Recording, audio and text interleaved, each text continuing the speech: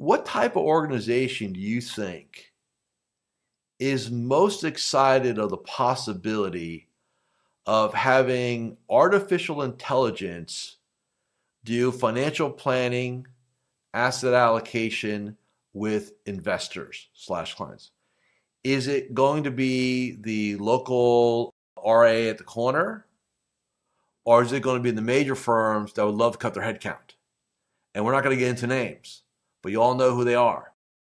And the big asset managers that would love to cut headcount, right? They're the ones that are going to try to find a way to replace advisors because if they can get rid of advisors or a tranche of them, that's just going to go flow to their bottom line. So the point I'm driving at is human beings are still tribal.